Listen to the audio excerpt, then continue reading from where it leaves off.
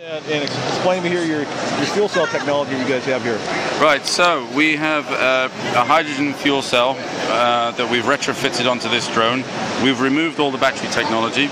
So a hydrogen fuel cell works in that if you provide hydrogen to the fuel cell with oxygen from the air, it will create electricity. Uh, and the kind of so what uh, for that is it's three times uh, more energy dense than, than a battery. So 20 minute flight time with a battery, we can fly this for around two hours.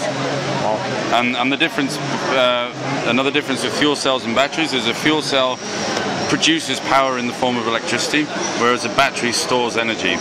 So this doesn't have to be recharged. So the other advantage is you can refill the hydrogen tank in about 20 seconds, and then you're good to go again. So this will, we think, will change the industry in that. What, what kind of amperage can it take, and what kind of surges and stuff like that? I mean, so this is uh, there's a kilowatt of power. Um, it can go up to 50 amps if needed. Um, and the if there's any peak power required, we can use a small battery.